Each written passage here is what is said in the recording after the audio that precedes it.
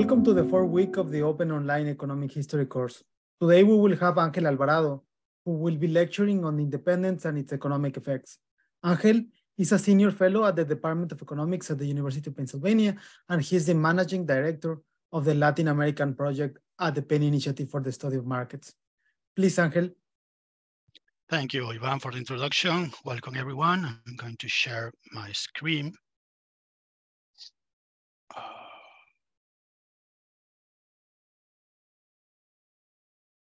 Okay, can you see my screen well? Yes. Okay, great. So well, today uh, we are gonna talk about independence and state building. A long process that is the beginning of the countries of Latin America, the new countries at that time. And in this process, I would like to talk a little bit about the state building as a main process that determines a lot of the trajectories of these economies. So I would like to start talking about the origins of independence. Uh, and this is a letter of Juan Vicente Bolivar, the father of Simon Bolivar, one of the wealthiest families in Caracas, a part of the Mantuano uh, group. Mantuano were the 0.5% uh, population of Caracas, means the, the richest people, not just the 1%, the 0.5%.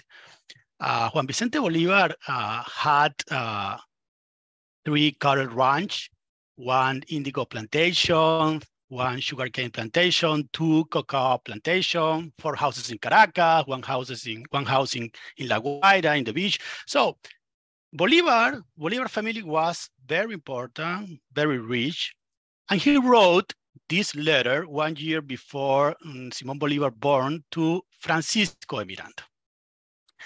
This is Francisco de Miranda. And in that letter, he expressed the intent that treat all Americans, no matter their class, rank, or circumstances, as if they were bill slave people. And referring to Miranda, you are the firstborn son of whom the motherland expects this important service. That service uh, is or was the independence. So who is Jose de Galvez? So the intendant uh, uh, treat all Americans as slaves, as a slave people.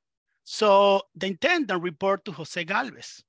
And Jose Galvez is this guy who was trying to lead the Bourbon reforms in Spanish America. That was an effort uh, of the crown to centralize the, the fiscal policy, increase the revenues of the state, and at the end creates, create some kind of state building or increase the state capacity.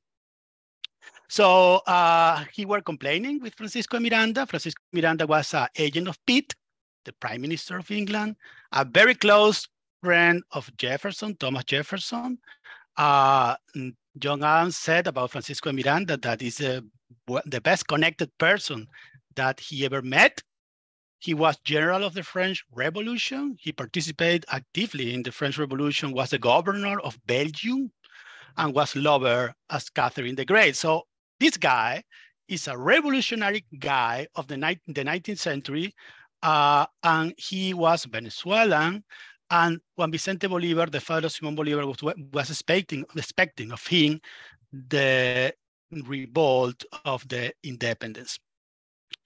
Remember that just um, before uh, that letter, um, the Mantuanos, the local elite of Caracas, beaten the Royal Guipuzcoan Company of Caracas, beaten in some part Galvez policy and Bourbon reforms, and they were empowered.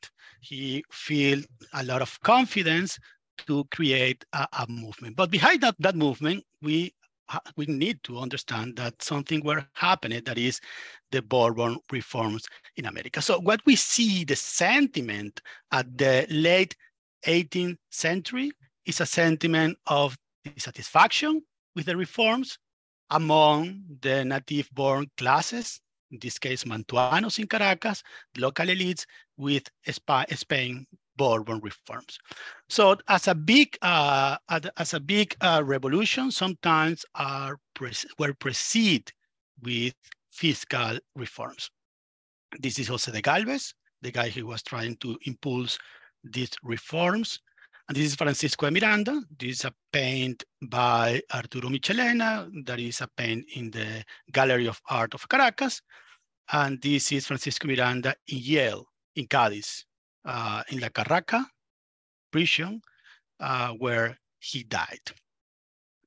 So, uh, you know, Francis, uh, uh, uh, Juan Vicente Bolivar referring to Francisco Miranda expects this important service. What service he were referring? Well, this is a service, the Colombia project.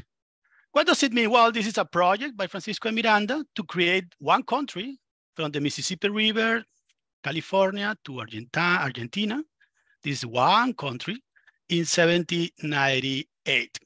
In fact, uh, he, Francisco Miranda, looked for money in US to invade Venezuela before the independence war to trying to create or uh, uh, make this project possible.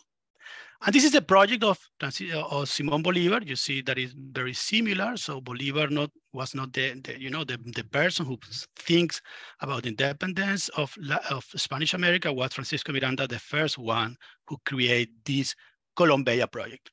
Why the name? The name comes from Columbus, of uh, Christopher Columbus in Greek, which is Colombia project.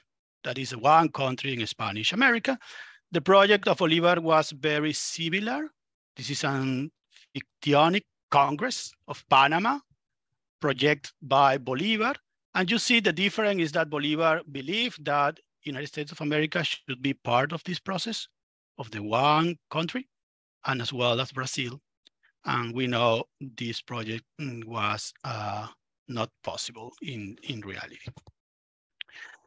So in the region of independence, uh, we see the Bourbon reforms that try to, to impulse many reforms. And you see response from the uh, Spanish American colonies. You see, for example, Tupac Amaru movement. That is a, a movement, uh, you know, in the region of this movement, we can see tax conflicts, racial connotations, and another in Peru, Tupac Amaru, is a, a very indigenous movement and you see another movement in Santander, specifically in El Socorro, uh, in Colombia, named Los Comuneros, referring to similar movement in the 16th century in Castile, that is the, the movement of communes or the commons. So oh, these uh, reactions had some uh, tax and racial connotations. So taxes are at the heart of the disconformity among the indigenous and the local elites. In the context of independence, also you have the American Revolution, the French Revolution, and Haiti Revolution, which is part, of course, of Latin America, as we see in the first lecture, but Haiti had a different um, path to the independence, was a separate process that began in 1781 and finished in 1804. Of course, Haiti prevent the revolution, that kind of revolution in plantation economies as well in the economies of the colony that used to have a lot of indigenous population. In the ideas, the ideas behind the origin of independence, we have the movement of enlightenment in Europe, the encyclopedies movement, of course, the philosophers. And you see that that intellectual movement influenced a lot in Francisco de Miranda, Belgrano in Argentina, Nariño in Colombia, Gual España and España uh, in, in Venezuela. And in the economic, as economic doctrine, we can see the Adam Smith ideas, and the promotion of free trade at the core of all the justification of the movement of independence. You see here some rebellions uh, during the uh, during the 17th century. In Latin America, you see many rebellions in the countries like Peru, uh, the West side of Argentina, uh, Ecuador, and Mexico that is related with indigenous rebellion. So you see at uh, countries that experience some kinds of revolutionary movement in the sense of discontent among the people who, who live there.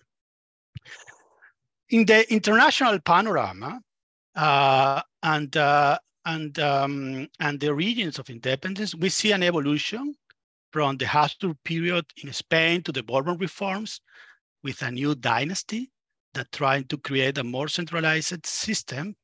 And you see in these, uh, in Latin America, this, this group uh, interacting with the Bourbon reforms, some groups losing some power, like the local government that were replaced mm, with the intendant, as you know, lead by that movement led by Jose Galvez. And you see the consulados that uh, helped to govern the, the colonies in connection with Madrid, for example, the Consulado of Mexico or Lima, and, uh, and you see the trade routes that were controlled by this consulado, and you see at the core of this equilibrium, the Napoleonic Wars. I'm gonna refer to this a little bit more in brief.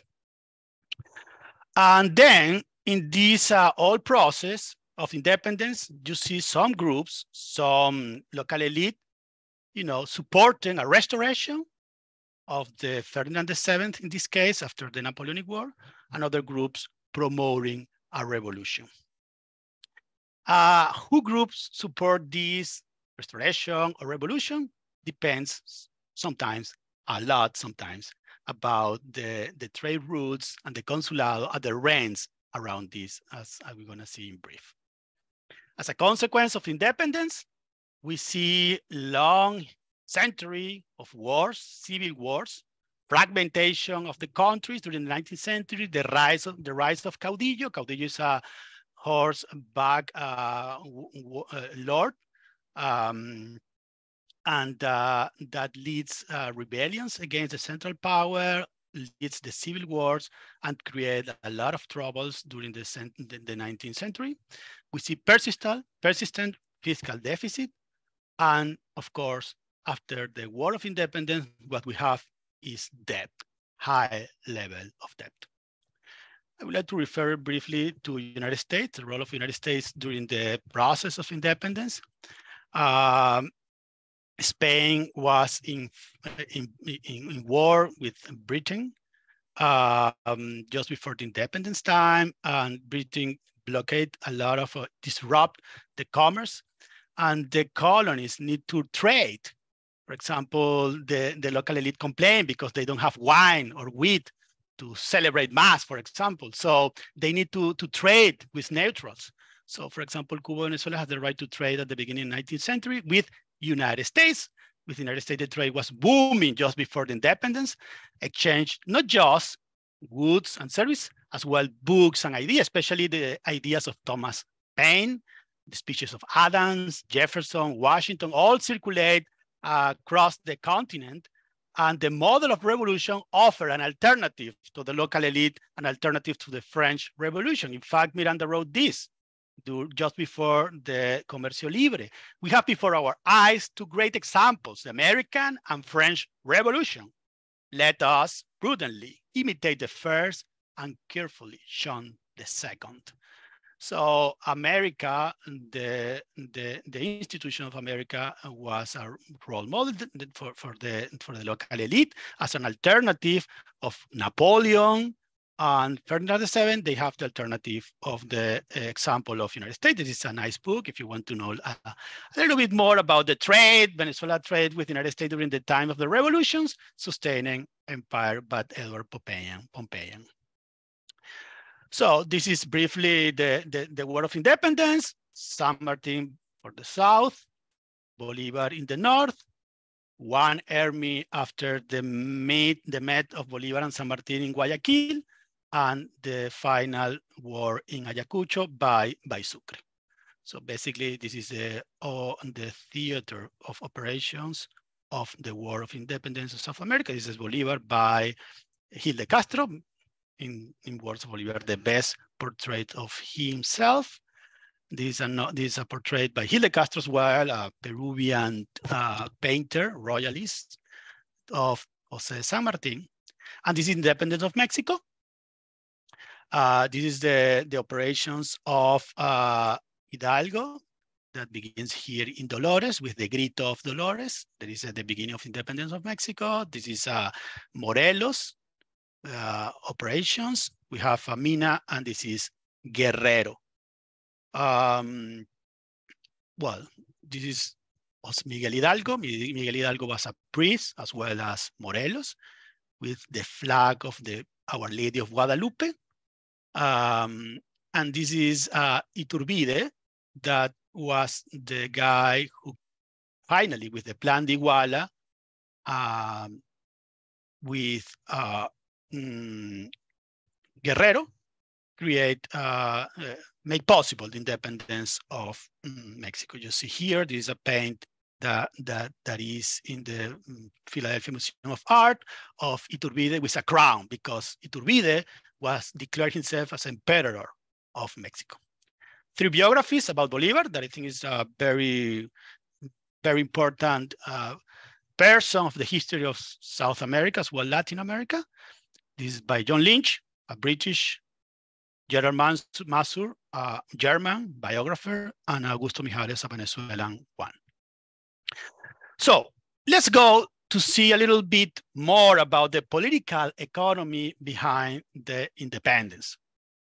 I'm gonna make this briefly because Fernando did a well job in the last class, in fact, in the addendum about this, but just to know what had happened in uh, Spain uh, at that time, especially in the colony. Spain was uh, uh, was a bargaining empire. It this means that negotiate with the bishop royalties, the captains in general, the taxes, as well as the kingdom.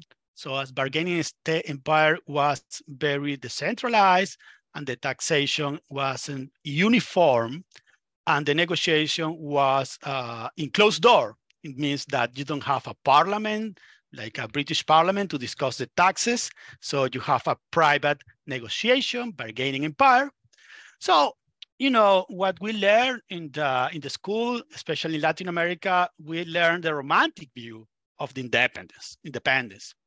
So today I want to talk a little bit more about the political economy behind that, because it's not just a romantic view. We have uh, taxes uh, behind this fiscal uh, fiscal policy and, uh, and that is a very important, especially from the economic perspective to understand the, the, the, the independence war of Latin America. So you see in the political economy of independence, Bourbon fiscal and government reforms, as I, as I referred before with Jose de Galvez, we see the Napoleon's invasion to Spain that creates a vacuum of, of power and create opportunity of people. So the elites had the opportunity to follow Jose Bonaparte, the brother of Napoleon, the, the, the, the, the, the, choice to follow Ferdinand, Ferdinand VII, that was, you know, that they made at the beginning of the process of independence, or a third way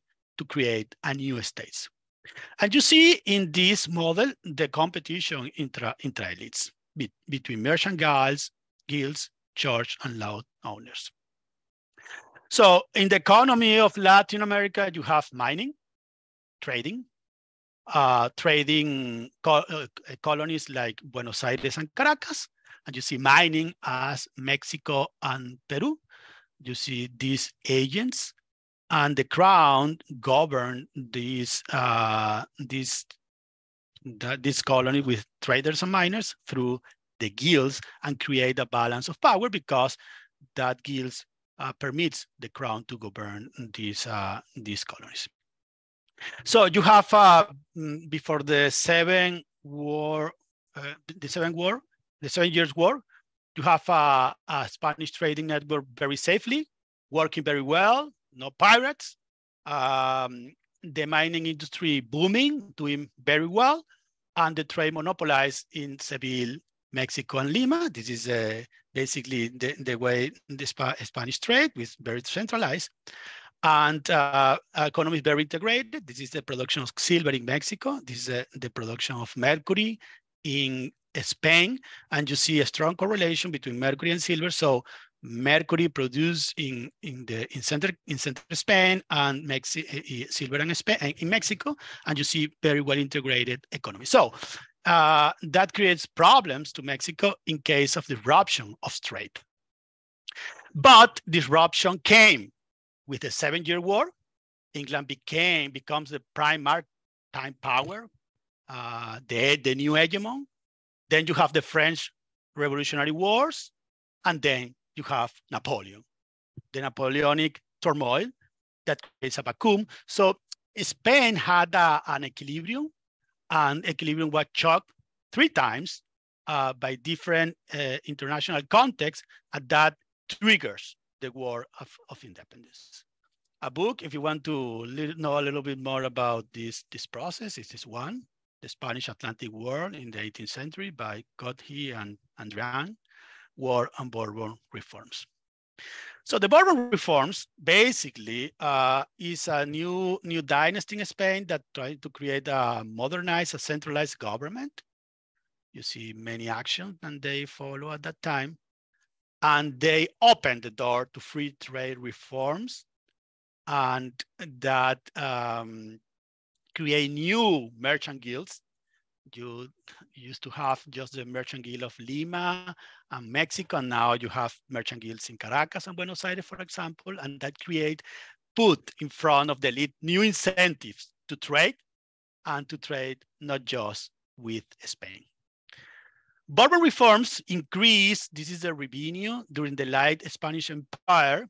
So you see it at increase in the colonies, the revenues. So the reforms were working very well.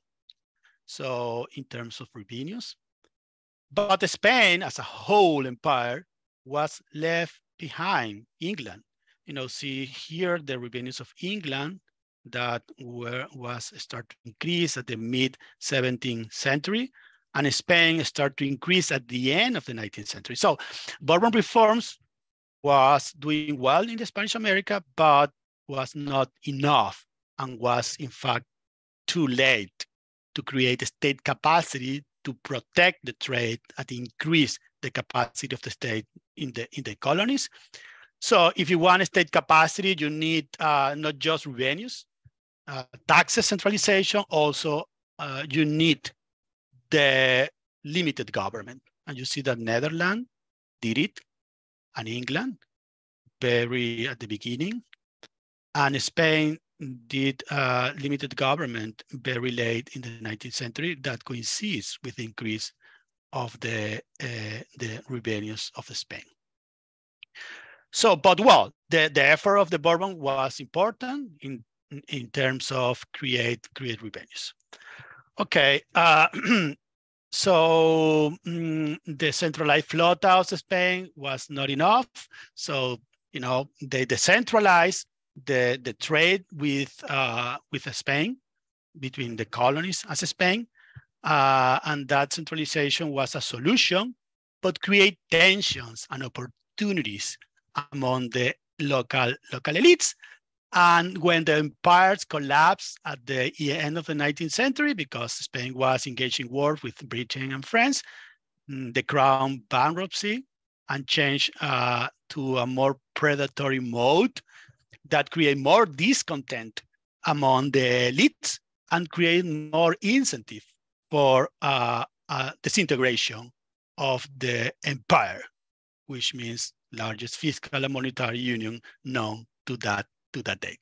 So behind independence, we have to see trade rates as a source, important source of political stability or instability we see more that countries that broke, you know, the, the control of the crown. We have to see before that the implosion of the empire uh, that were threatened by different wars at the same time in the late 19th century. And we see the Bourbon reform fail to re reconfigure the empire economic structure. So at the end, what we see is a, a, a very predatory mode of Crown of Spain trying to finance the war uh, and avoid the, the collapse. I, would like to refer a little bit, a bit about the particular case of Brazil. The next lecture on Thursday will be just about the independence of Brazil in the 19th century of Brazil. So I just want to refer that the independence of Brazil was not a revolution, was a continuity with the imperial government. In fact, when Napoleon invades Portugal, King Joao moved with the family and the court the and the and the zoo, the animals of the zoo, and the the the the the, the, trees of the of the botanical garden of Lisbon, all to Rio de Janeiro, and create a new empire there. So the empire core moved to Rio de Janeiro, and Brazil had a peaceful independence. So that means that was a smooth process. The creation of Brazil was not a revolution and you know long-lasting war, and that create more continuity. And that continuity as well create the incentives not to change the institutions. So we see that the slavery still co continues in Brazil to the late 19th centuries. So what we have after independence? We have these countries, new countries, uh, in the, that is basically what used to be the Spanish colonies. We see in the terms of economic transition, the end of the slavery was not immediately, but we see the end of this institution. We see the liberal reforms uh, that in terms of lands mean the expropriation of the land of the church that was very wealthy at that time, the privatization of the communal lands of indigenous communities, and, uh, and the expropriation or privatization of these lands was not, uh, you know, fostered by ideas of public policy. Was it was more the ideas of the liberal terms that we need to privatize this and promote the the, the change and the, in some sense, Manchesterian Manchesterian liberal capitalism.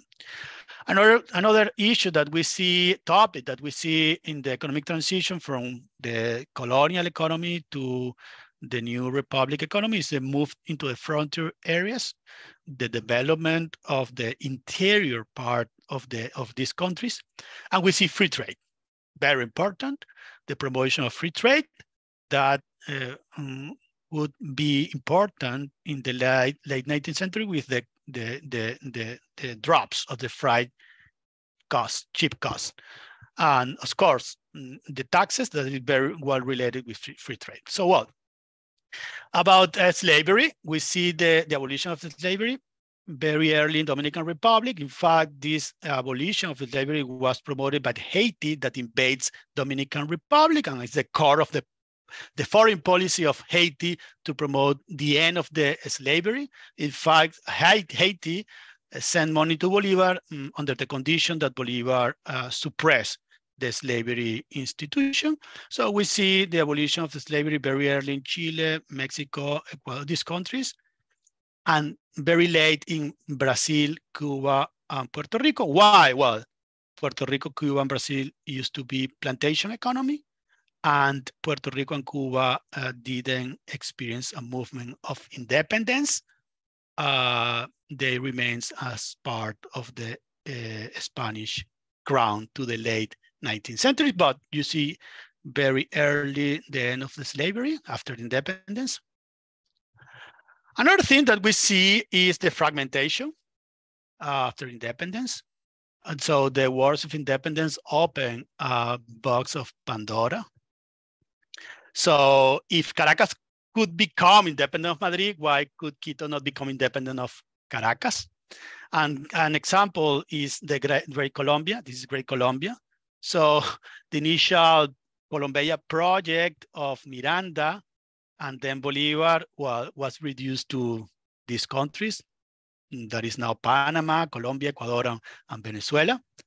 And uh, one of the, the, the, the incentive for fragmentation is, well, the capital of this new country named Colombia, then Great Colombia, but that time was Colombia. That is a derivation of the Colombia project, was in Bogota here.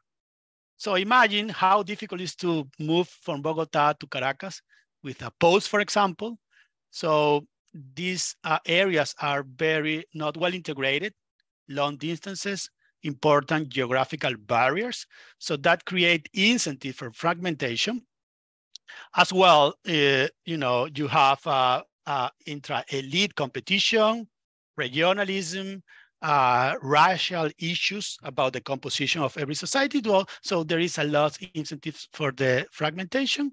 So important question is why not Brazil? Why Brazil uh, keep very compact? And, and yeah, we have to say that uh, all the most important cities of Brazil is in the coast, and Brazil was uh, integrated as a union before the independence. We see in Spanish American that, well, some of these countries were very united around Madrid, but not united by themselves. Between Caracas and Quito, there is not much connection. Between Buenos Aires uh, and, uh, and Asunción, there is not much more connection. The connection were around the, the Madrid, that is the, the metropolis. Bolivar was very upset about this uh, incapacity to unify in South America. This is a letter one month before Bolivar died letter wrote to Juan Jose Flores, a Venezuelan who governed at that time the Ecuador, which was part of Gran Colombia. And Bolivar was very sad, was sick, and wrote this. I want to, I want to, well, I want to highlight something of this. For example, Bolivar said that America is ungovernable for us. Uh, the only thing you can do in America is emigrate. Very sad. Bolivar was thinking to emigrate when he wrote this letter, emigrate to Europe, but he died before he tried to go out in Santa Marta. And he make a prophetic uh, predictions about South America. These countries will fall inevitable in the hands of umbril masses and then pass almost imperceptibly into the hands of petty tyrants and all colors and races. Uh, well, you see that was very difficult to Bolivar to keep the unity of these of these countries. This is a great novel about that time of Bolivar, the last days of Bolivar, the final trip of Bolivar uh, from Bogota to Santa Marta through the Magdalena River. Very beautiful description of Gabriel Garcia Marquez. The name of the book is El General en su laberinto. So Uh, North et al. wrote a comparison between the independence process and the consequence between Latin American countries and United States. So the conclusion of North, which is a big name in the, in the, in the science and economics, is that, well, political order is not a public good, it's not automatic. You have a country, then you have a um, political order. It's not in that way that this works. Uh, it's not automatically. And in fact, was very difficult for Bolivar and then the other uh, president of, uh, of Latin American countries after independence to create political order. And that order is what we know now, state capacity and credible commitments, arrangement that continue dur during the time.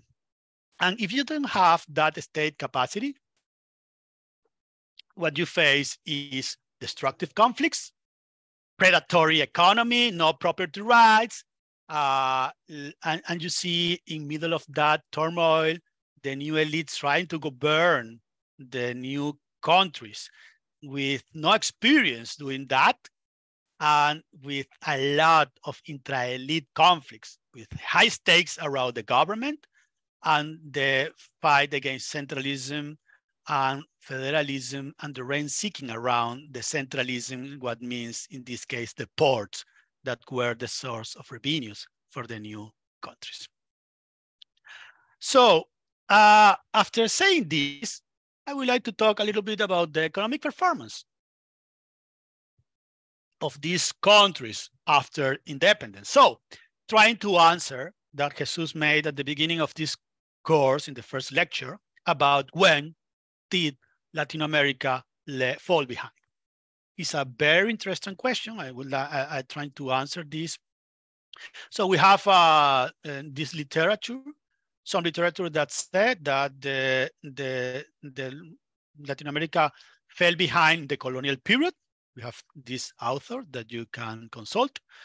And we have in the, the post-independence period, this author that believe that Latin America fell behind during the time we are studying today. Maybe the most important one is North Summerhill and Weingast that we I just comment in the two slides ago, and the work of Card, uh, Cardenas 2010. So what? After independence, uh, in the positive uh, side, we have the prospect of free trade that excite non-Iberian powers, especially Britain. And, uh, and in the negative side, we see the end of the custom and monetary unions that used to have those countries during the Spanish Empire.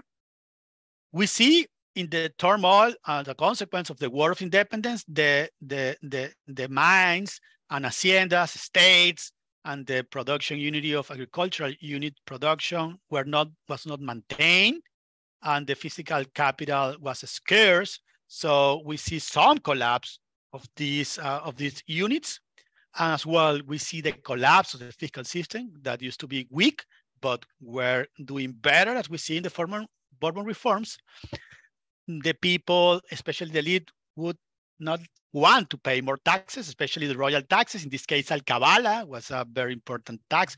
The people uh, avoid or don't want to pay more taxes. And uh, something that is important here is that taxes means for the local elite absolutism, means uh, Ferdinand VII, means uh, uh, uh, Bourbon reforms, especially Mantuanos don't want to pay taxes. Okay, and uh, the end of the the custom the custom unions is an important thing that I want to remark today. We see here country by country and the market extra-regional and intra-regional market. So you can see here, for example, that Mexico produced sugar and textile to sell to, to be sold in to be sold in the colonies. So these textiles went to Venezuela or Colombia or Ecuador.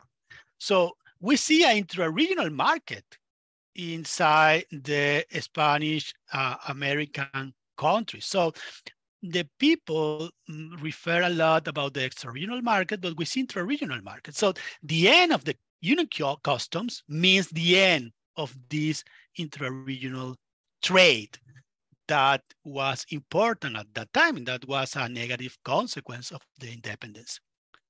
But at the same time, we see a great opportunities for these countries because the term of trade was very positive during the 19th century. So we can expect uh, uh, a lot of growth due after independence. Okay, we can see here the real GDP per capita, the Maddison data set, and we can see here, for example, the case of Argentina that did well after the independence, very well at the end of the 19th century. It's the same case of Chile. So we see the peripheral economies, the trade-oriented uh, colonies doing very well. And we see for the same case of Venezuela, but especially Venezuela after independence. Before independence, Venezuela uh, experienced some stagnation. And we see the peripheral Argentina, Chile, and Venezuela uh, did very well after independence, or did well, not very well, did well. And we see some countries doing uh, very bad after independence. In the case of Colombia, Mexico, and Peru, that in the case of Mexico was a more dramatic one, lost 30% of his GDP in terms per capita GDP. Uh, it's the same of Peru that then recuperate with the guano sector booming. But what we see in the case of Peru is a stagnation during the 18th century, then the 19th century, the case, same case of Mexico that recuperated a little bit more at the end of the 19th century, and the same case of Bolivia. So you see at least two patterns. The big viceroyalties, you know, uh, doing so bad, and the peripheral economies of Venezuela, Argentina, and Chile doing better. And you see here, United States, that increased a lot his GDP at the end of the 19th century and was superior uh, is the same case uh, before the, in, the independence. You see, for example, the richest colony in this data set was Argentina in the, the beginning of the 19th century, but the United States was richer than Argentina and Mexico. So the, the question about when did Latin America fall behind, well, in this data set, we see that Latin America fell behind before the independence, but we need more uh, figures to understand how well or how bad Latin America did during these times. This is a GDP, ratio GDP of US of, mm, of with in comparison with the GDP of US. So we see, for example, Argentina. Argentina at that time, the GDP of Argentina uh, using this Bulmer Thomas data set was 50% of the US economy.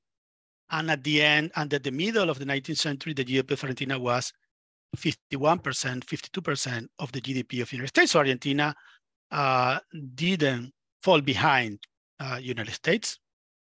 It's the same case of Chile that did better in terms of United States. Brazil did uh, worse. So Brazil fell behind. Cuba didn't fall behind. Colombia fell behind, you see. Uh, Mexico fell behind. Peru uh, keep it, his GDP in comparison with the United States in terms of, of uh, ratio.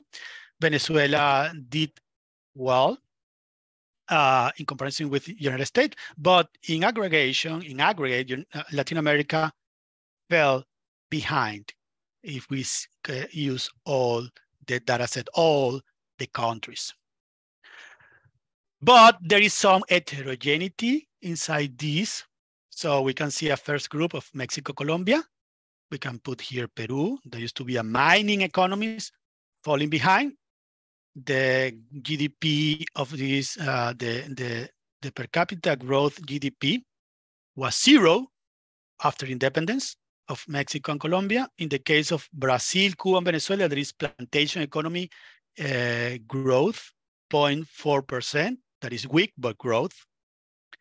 Uh, the best case in this is Cuba that didn't in, uh, make the independence at that time during the 19th century, so used to be part of Spain crown. And you see, you see a third group that is Argentina and Chile didn't doing better, increase their, their GDP. So uh, Latin America fell behind, yes, but we see some heterogeneity in this sample. This is a Bertola and Ocampo's uh, calculus about the GDP of Latin America. Finally, the question about if Latin America fell behind in comparison with other regions of the world. So the uh, GDP growth of Latin America during that time, 1820 to 1870 is 0.5%. Well, Africa and Latin America did better than Africa, better than China, better than India, better than Japan, better than East Asia, better, more or less the same with former Europe, former uh, Soviet Union countries.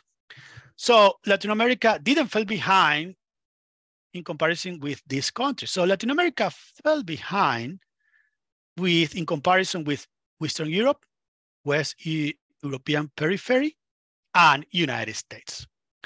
So what we have to say is all the region of the world fell behind United States, um, UK, France, and the Western countries, Western Europe in the 19th century, not just Latin America. In fact, Latin America did better than the rest of the world. But uh, Latin America uh, did not so bad but experienced some problems. And one very old problem of Latin American countries is inflation. At that time, debasement of the currency. And we see recurrent debt defaults during the 19th centuries.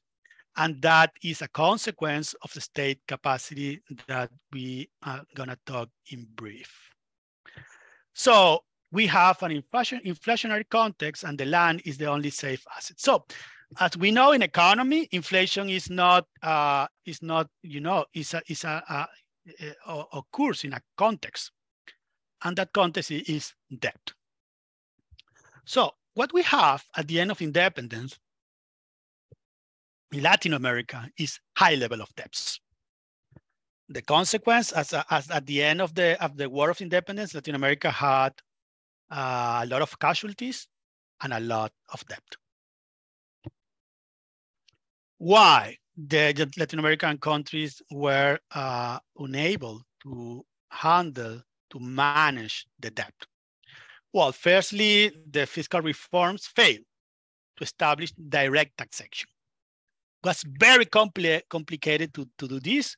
Intra-elite conflicts, political instability, uh, part of the tradition that taxes its absolutism of Spain, and Mantuanos opposing to this.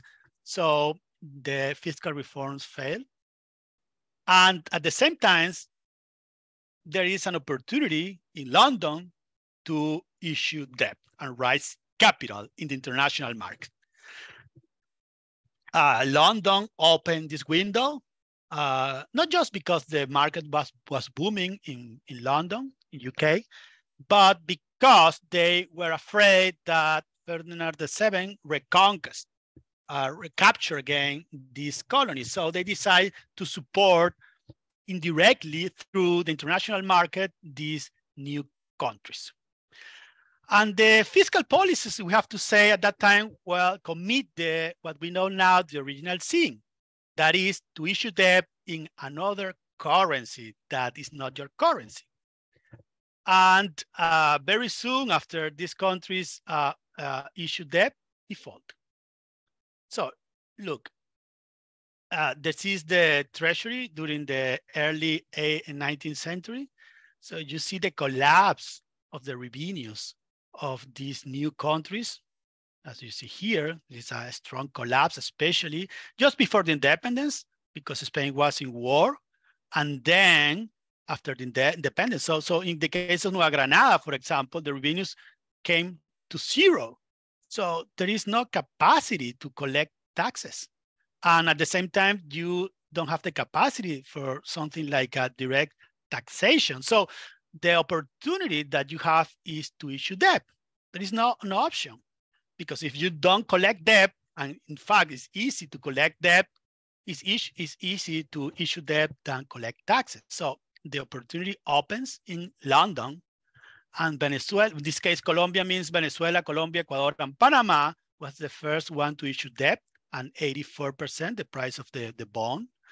So it's uh, the first uh, the first debt issued in the international market in Latin America where those countries. And then again, Colombia to win, to won the war with more debt in better conditions. And we see, for example, Brazil, the first debt issued in 1824. And uh, interesting here, Brazil issued debt in very, well, to Rothschild. And this is important, Rothschild, because Rothschild helped Brazil not just to with money, but to receive the recognition as an independent country after issue this debt.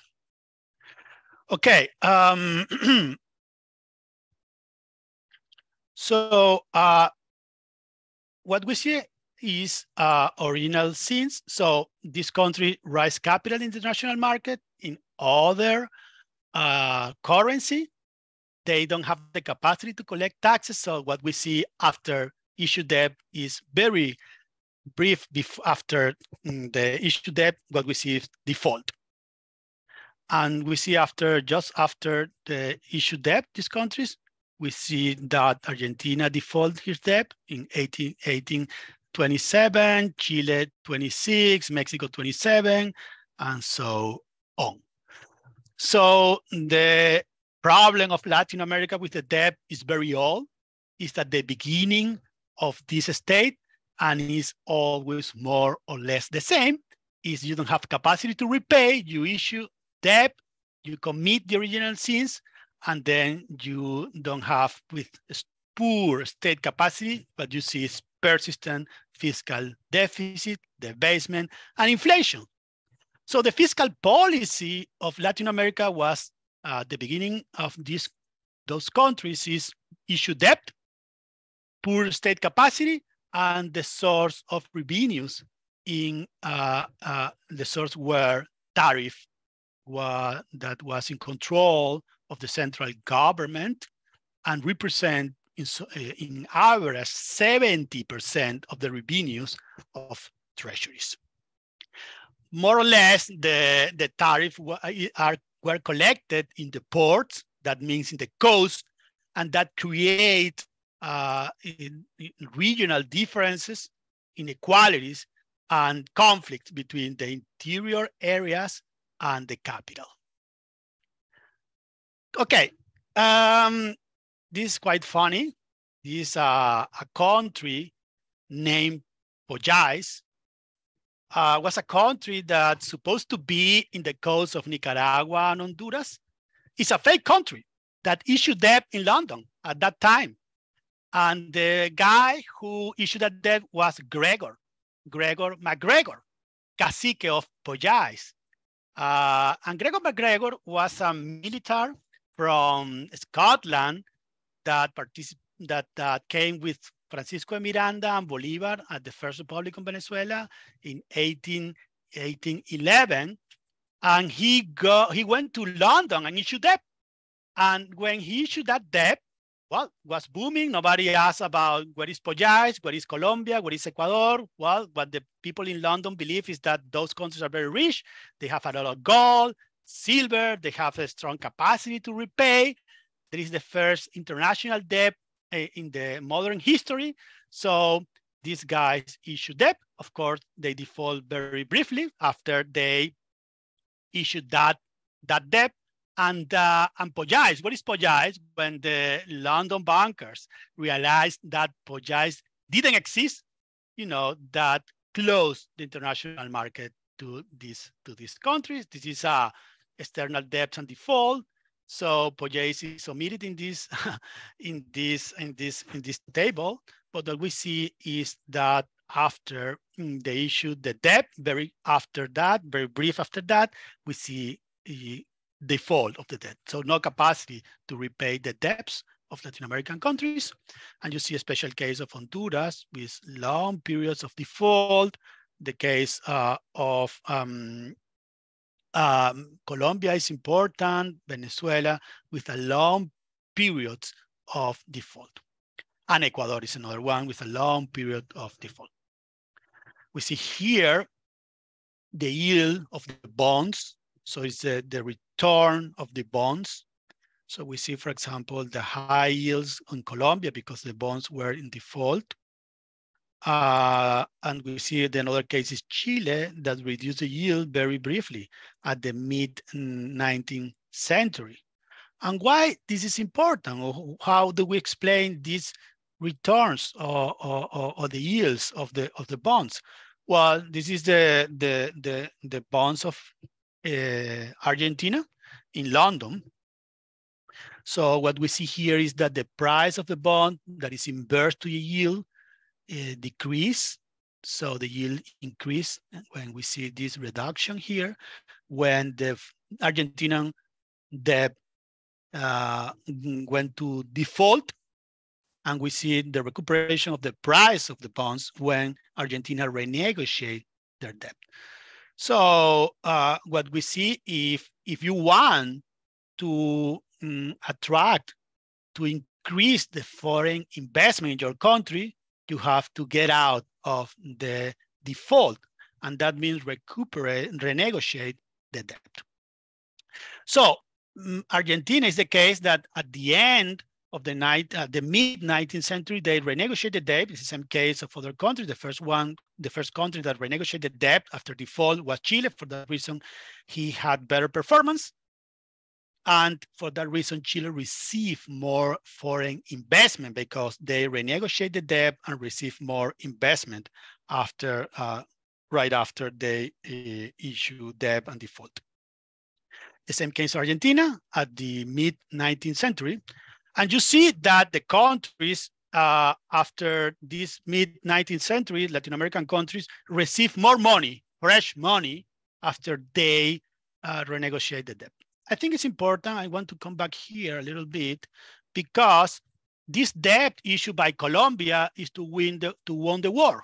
In some case, in 1824. So this debt uh, basically was issued and used, expanded, expanded uh, to won the independence war with the Ayacucho War in 1824, uh, led by uh, uh, uh Gran Mariscal de Ayacucho, Antonio Jose de Sucre. So this debt, the initial debt, is to win, to win the war. Then you have another period of default, Poyais and those stories. And then you have another period uh, of debt in the mid 19th century with the renegotiation of the debt. And those debt was used not just to finance the army, but to finance public uh, infrastructure, sometimes railways, and that was very uh, important to these to these countries. Especially because it's not debt to to, to win the war, to win the war, but to create capacities in the state and to promote development.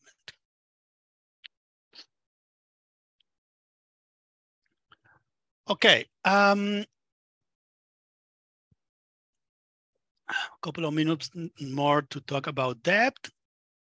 Uh, we we saw a little bit about the the fiscal policy in Latin American countries. And the fiscal policy was very regressive.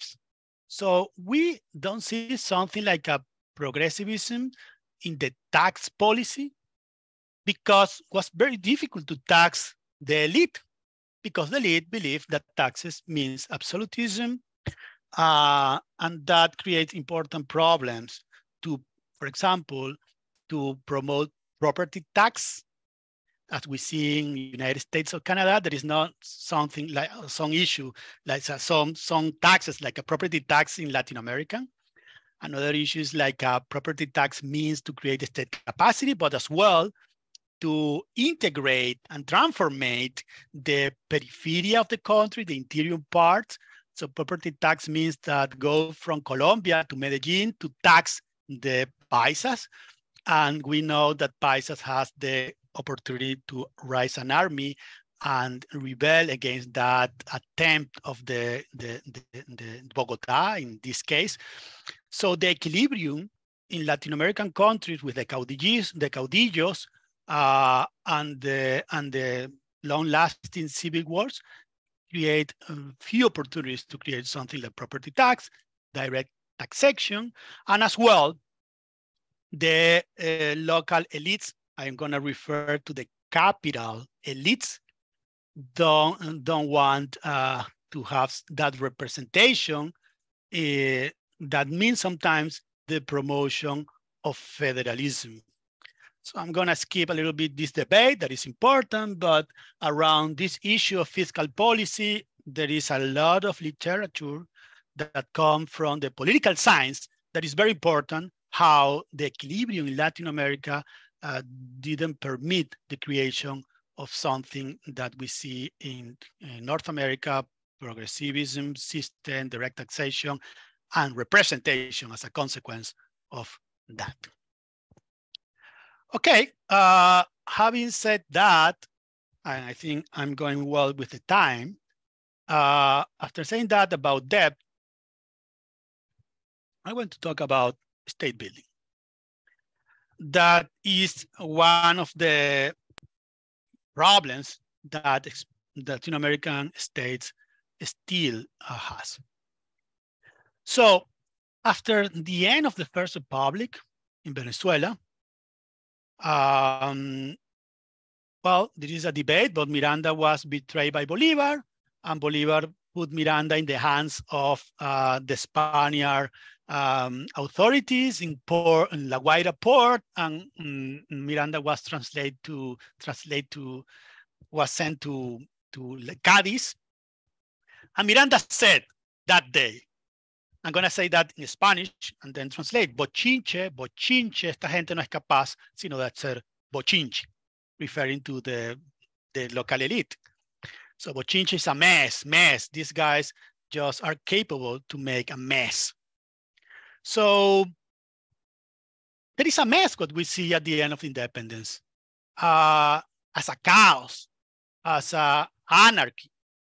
And we, uh, these states fail uh, in their, you know, attempt to create states. So state capacity describes the ability of the state to collect taxes, enforce the law, order, and provide public goods. So Latin American countries after independence fail in this. States and the state capacity, of course, facilitate economic activity in many ways. Proper, you know, the, the, the, the institutional framework, secure property rights, basic market regulations, uh, resolution of disputes in the courts, administrative infrastructure, etc. So if you want state capacity, you need fiscal centralization. So you need centralization. And there is another important point that in America, the dominant ideology thing, especially in the late, in the second part of 19th century is federalism. And federalism is against centralization. And that, uh, of course, mm, was well, was very difficult for the the the, the conserv, conserva, conservadores to promote that fiscal centralization, limited government, so parliaments, and at the end of this process, fiscal centralization plus limited government, what you have the revenues, which means state capacity. So economies uh, of Latin America uh, didn't have and still has a strong problem with state capacity. So state capacity permits to govern in a strong, cohesive, and constrained that way that overcome the vested interests. So vested interests were in the core of this political process and vested interests of the local elite, you know, um, avoid the creation of something like a uniform tax system. And what you see is weak states in the 19th century with a lot of rent-seeking, corruption, and civil war. And maybe this is the most important legacy of the independence independence war. There is a lot, a, a abundant literature to talk about this and the effect of the state capacity in the economic performance in the long run. Besley and Persson maybe is the first one, but you have others as uh, the state and as active participant in the develop, developing modern capitalist system and the promotion industrial revolution as the work of Mokyr. Uh, and for example, the as, well the, the fragmentation as a consequence of state capacity. And of course, when we are talking about civil wars and conflict that we see along the 19th century, we have to see or talk about the weak capacities that the state had. So the question is why? Why Latin America had weak, uh, weak state capacity? So um, there, is, there are many explanations. There is more in the political science that talk about, about this. But the first thing that I would like to say is that this problem persists today. The favela, the barrio, Colonia Popular, or Villa Miseria, this is shanty towns in Latin America, slums, are consequence of state weakness. This is, my, this is Petare in East Caracas. Uh, as you may know, before I come to Penn, I was, I served this district as a congressman. So this is my district. I've been working here for so long and you see this part of Caracas that is a Petare, is a slum, shanty town. And this is um, Caracas. So you see inequalities, but behind that, what you see is uh, the state capacity. Here you see the state, the police patrol these streets, more or less. uh, the service, public services are better here. And here, mm, what you see is not present of the state. So the state capacity is low in all those areas in comparison with Europe or United States, but especially in these areas or more inequality, the state capacity is reduced, it's very low. Before I, I was member of the Congress, I served this city council. I work a lot here. I know all those streets. And, uh, and one of my concern is the, the lack of state capacity to do more to resolve the problems. Um, and well, if we want to, to, to see the trajectory of state capacity, we have to low, go to the independence time. So as we uh, have been saying, Latin American states failed to provide essential functions, public goods, control of internal violence. Internal violence, that is uh, guns, homicide rates are related with the state capacity, and that is very is very high levels of Latin American the homicides of the most important cities is related to state weakness. So why was very difficult to create the state capacity? Well, was one explanation by Kronick and Rodriguez. Rodriguez will be talking in the nine, the ninth week in the, as a special guest is an intra-class conflict. There is the division between the local elites, the regionalism, the league division, and the racial issues around that creates intra-conflict between the elites, the elites the region fighting mm, themselves. So that's one explanation of the incapacity to create state, the state building in Latin America. Another explanation by Tilly, that is a classical work, that said, but basically that the war create states. War create states and states make the war. That is the case, special case of Europe.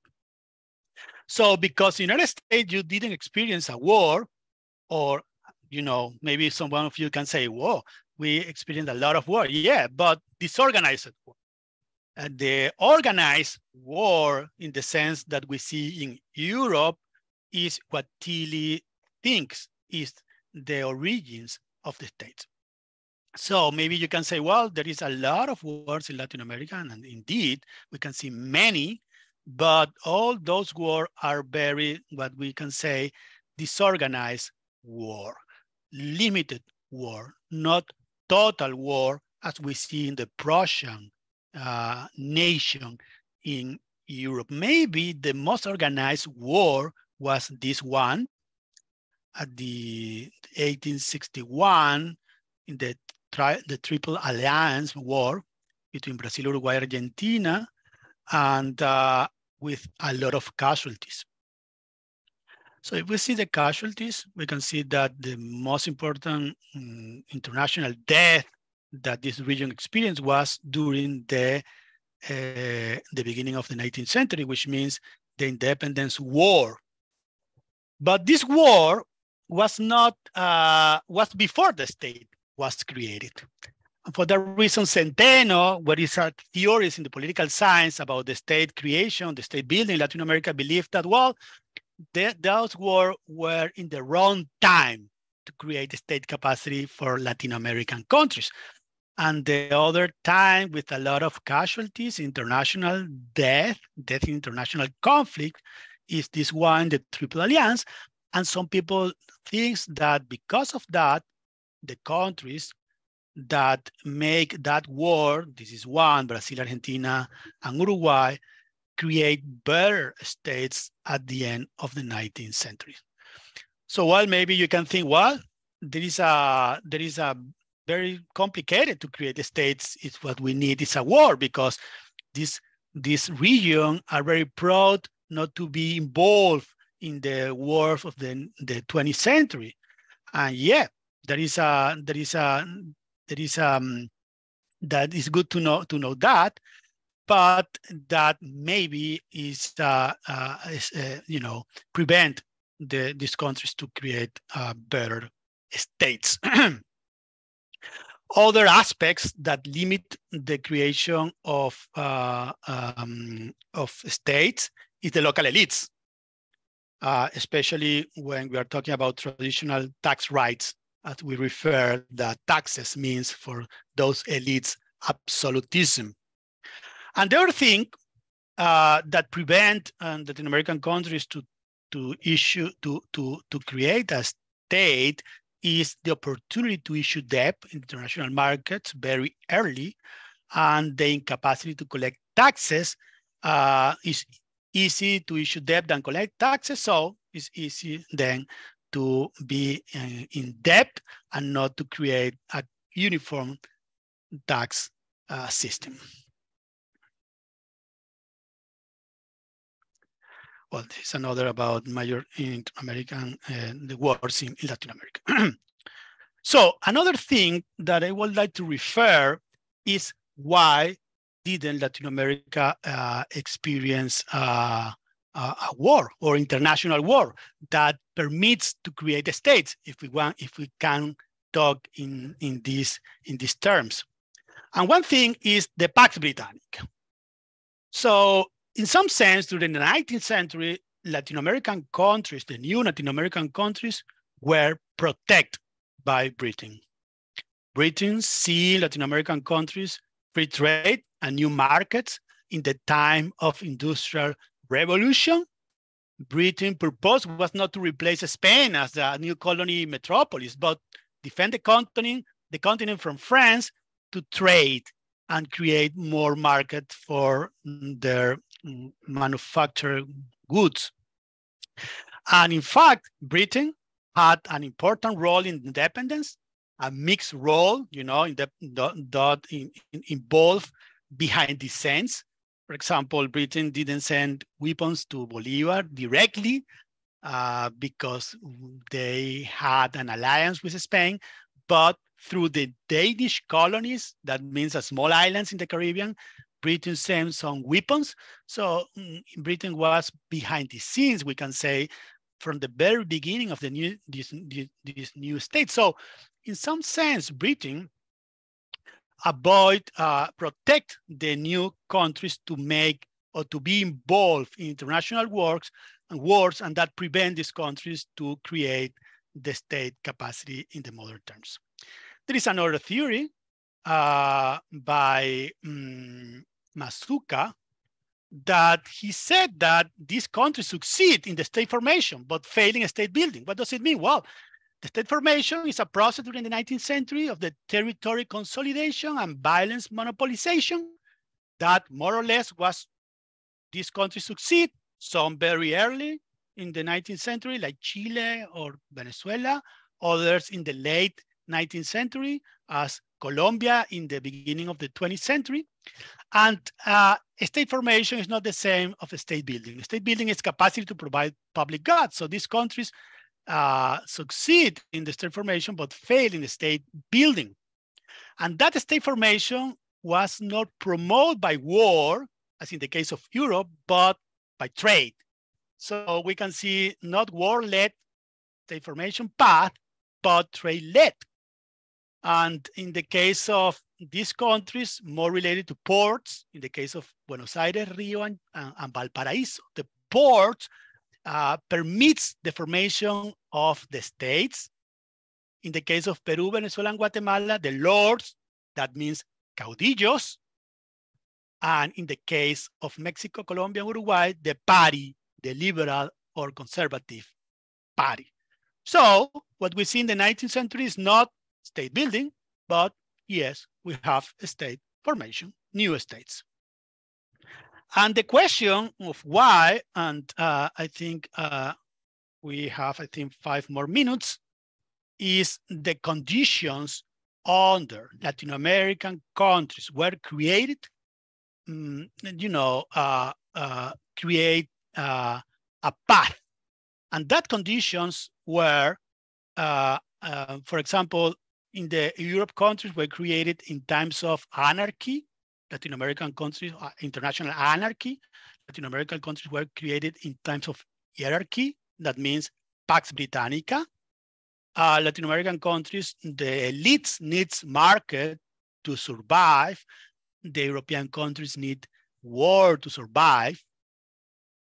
So to survive, the European countries create internal taxation uh, under the external military threat and trade in Latin American countries uh, live from the revenues of customs due to global trade opportunities in the time of the first globalization. And uh, Europe incorporates the periphery, the regional areas uh, with transformation, not the case of Latin America. So as a consequence of this, you have strong states in Europe and weak states in Latin America. If you want to know about this, this is a good book by Mazzuca, Sebastian Mazzuca, 2021, uh, in the particularities of the formation of the state Latin America and the fail to create a state building. Finally, I would like to dedicate, well, there is uh, all the conflicts between the, the faction of Latin America that prevent of the creation of the state, conservatives and liberals. Uh, but I think I don't have much more time to do this. You want to have the, the slides. Finally, I would like to, take, to talk about as a consequence of the, the, the, the weak states that we have Latin America, maybe is one of the explanation of the high level of inequality that we have in these countries. There is uh, what is important in this graph is that we see the inequality as measured by the Gini index in the uh, here in the in the y-axis and the x-axis we have the measure of income. Well, and you see, for example, that Mexico, New Spain, and Chile were very unequal in the late 17th mm, century uh, and the 18th century in the case of Chile. So you can say, well, these countries were very, experienced high level of inequality. That's true in this measure, of course, by Williamson. But other countries were, were more equal or at least in the average of other countries, in the case of Peru and Brazil. So we cannot say that Latin American countries were very unequal all the time. So it's more a recent phenomena or saying in different words, we see that Holland or Britain that is here are more equal now and why Latin American countries still experience high level of inequality. So one explanation is state capacity that I have been saying before. But referring to the trends in the inequality of Latin America, we have to say that the colony create more unequal societies, as we can see here. Then after the independence, we see that redu reduction of inequality till the end of the 19th century. So uh, uh, in the whole 19th century, we see the reduction of inequalities. So that is positive of this process, but we can see a lot of the heterogeneity in this process. So we have, a, it is a bad uh, measure of inequality. So we see in, in heterogeneity, we see, for example, here Venezuela that experience a reduction of inequality till the mid 19th century that coincides with a high rates growth during that time. And you see other countries like Argentina that increase the inequality. So we see the reduction of inequality, but we can see, we, we, we can see a lot of heterogeneity in this process. This is another measure by Williamson of inequality. It's a ratio between land rents and unskilled wage. So we see, for example, the index number here at the time of the brink of independence, and we see the reduction of inequality using this measure during the 19th century. That is this measure that I see here, but in other, uh, another way to treat another treatment. So one conclusion is these countries reduce inequality during that time but not as the level that we see during the 20th century in other Latin American countries, uh, in other European countries. So maybe one explanation is the persistence of the in, in, of the of the slavery that was very important, especially in the case of Brazil. That you see some correlation with uh, slavery and inequality that is more clear here with road correlation and controls, it's very clear that inequality is related with the institution of slavery. And another thing that is important is the education attainment that was very high at the end of the 19th century in, in North American countries and very low in, in Latin American countries. And that means maybe the weak state capacity to tax, to increase the revenues of the state, and to spend in something as an education. If you invest more in education, that is the case of Canada and United States, you have less level of inequality. And you see that Canada do, is doing better than United States, maybe because they didn't experience the slavery institution. So that's it. Um, thank you so much. Sorry about that. Yes. no problem. So thank you for your lecture. Uh, we have a couple of questions that have not been answered yet. So we've been answering some of them. So Martin asks, some borders in Central America are very straight. In other parts of the world, that type of borders create unrest on both sides of the border. Does straight created states mean that is more peaceful or has there still been some unrest and civil conflicts? Well, I think this this topic about um, trade is uh, is a is a is a new topic that we have to study to study more. And uh, for example, the Central American countries didn't experience uh, a war as we see in South America, especially in the case of Colombia in the Independence War. And uh, and uh, well, I think I think we have to study a little bit more about this. I'm not I don't have a lot of experience about Central American countries, but I think the country that did better in Central America uh, in the terms of state capacity is, is um, Costa Rica. And I think we have to study a little bit more that case and how Costa Rica create a better, a better state. Okay, would you consider the vertical and absolute relationships that the elites had with the rest of the country in terms of taxation that they also reflected labor, practices, for example, the haciendas or later textile mills that just continued the two-class systems without a true middle class? Well, we, we have that. We have the, the class relation, of course, the hacienda and that relation. There is a, I didn't refer to that topic that is complicated, but it's related with racism, the level of racism in Latin American countries, the uh, heterogeneity that you see in the composition of the population, and the afraid of the local elites to empower this uh, part of the society. So that is a one factor that affects, you know, the creation of the state, the unification of the tax system, but uh, besides that, I think it's as well very important the regionalism, the conflict between the regions, the incapacity to incorporate the peripheria.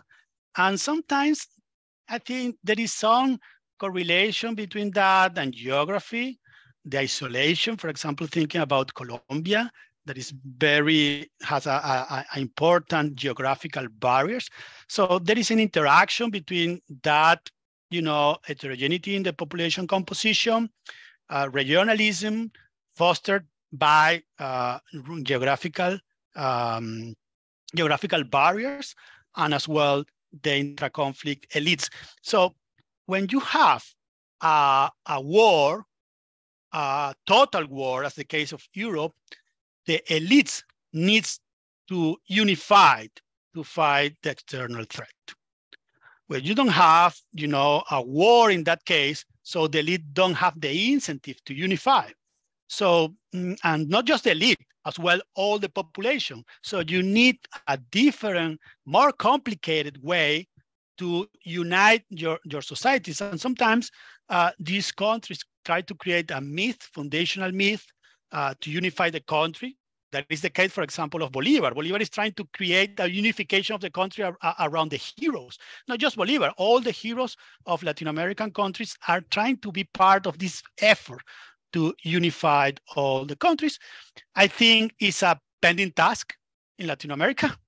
there is a no easy task because nobody wants a, a total war, uh, but it has an important consequence in the fiscal system and as we have been saying in the state capacity.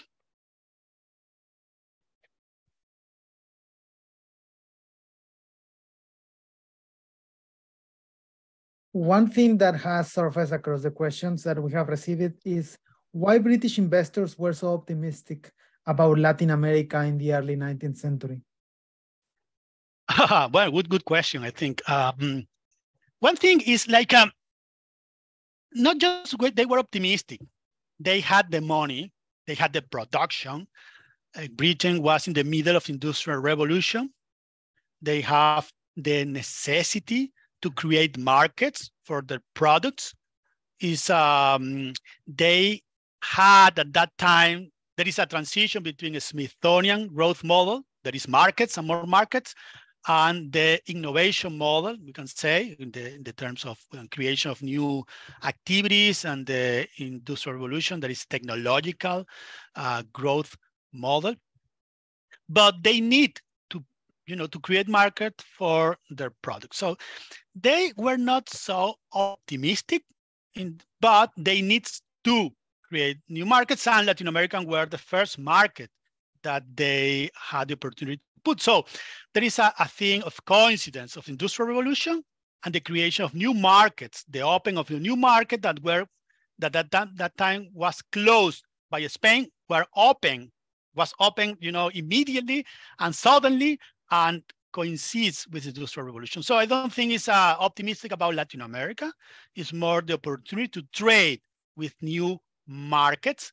And the other thing is that as we saw, Latin American you know, was the country that growth more in the, the world after the United States and Europe. So there is an important market to, to, to, to, provide, to provide the new goods of the industrial revolution.